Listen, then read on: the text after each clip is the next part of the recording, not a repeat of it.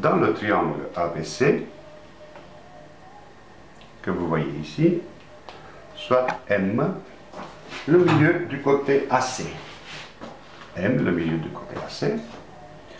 Et puis, je prends un point N quelque part au hasard sur le segment AM.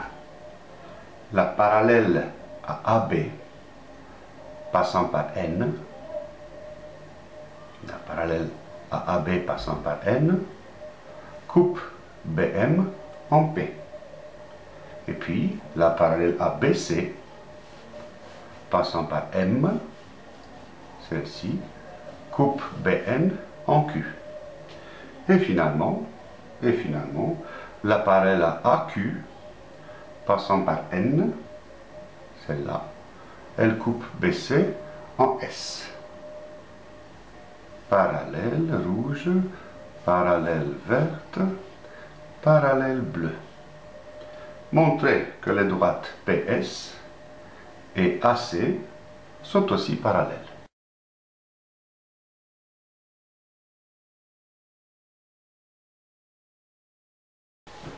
Alors, pour résoudre ce problème, qu'est-ce qu'on peut faire?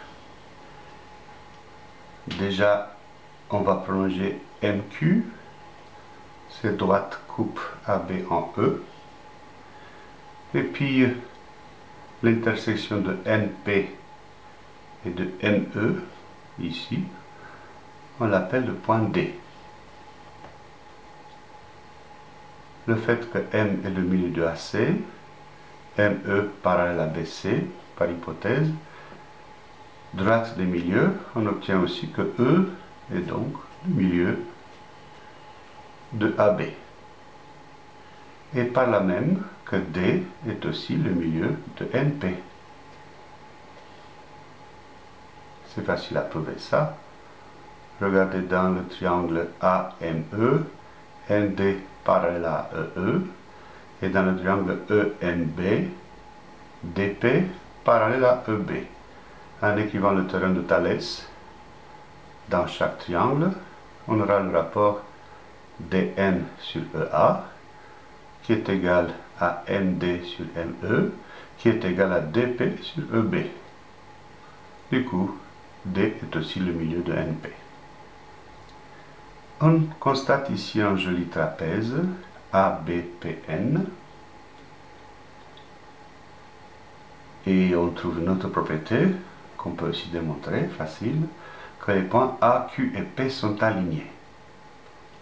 Propriété facile dans un trapèze, regardez-le, les diagonales AP et BN se coupent dans le point Q qui est aussi sur, on va dire, la droite du milieu entre D et E qui sont les milieux des bases. Une propriété facile à démontrer pour ce problème. Du coup, on obtient deux triangles isométriques, ou égaux, ou congruents. Vous les voyez? C'est ADP et NDS. ADP et NDS. Un angle opposé par leur sommet, de même mesure, angle opposé par leur sommet, dp égale dn, donc un côté, et puis un autre angle, par exemple celui-ci, angle alterne interne, congruent parce que AP et NS sont parallèles. Un angle, un autre angle et un côté. Le cas angle, côté angle, et les triangles ADP et NDS sont congruents ou isométriques ou égaux. Tout dépend dans quelle époque de l'enseignement on se situe. Ça, ça vient d'Euclide. Euclide qui disait égaux. Et puis Cantor ou Hilbert qui en 1900 disait congruent. Et nous, en 2015, nous disons isométrique. Isométrique, ça fait plus chic. Bien, ça c'est pour la petite histoire. Alors, le fait que ADP et NDS sont égaux ou congruents ou isométriques, Cela veut dire que le côté AP et NS sont de même longueur. AP et NS sont égaux. Mais nous savons que AP est parallèle à NS. Par hypothèse, le droite bleu, qu'est-ce que ça donne? Le fait qu'on a ici deux côtés parallèles et de même longueur, ça nous rappelle bien sûr une propriété de cinquième.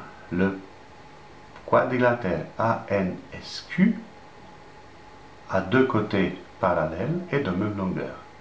Il est donc ANSQ, il est donc ANSP, excusez-moi, ANSP, hein, j'ai rien dit, hein, eh oui, hein, NS et AP, eh oui, NS et AP. ANSP, ANSP, ANSP. La liberté, c'est aussi le droit de se tromper. Comme disait Brel, ANSP, c'est un, vous l'avez deviné, parallélogramme. Et parce qu'il est parallélogramme, aussi les côtés, les deux autres, sont parallèles et de même longueur. PS parallèle à AN on vient de démontrer ce qu'il fallait démontrer, que PS et AN sont parallèles, ou plus simplement PS et AC. Et voilà, le problème vient d'être résolu.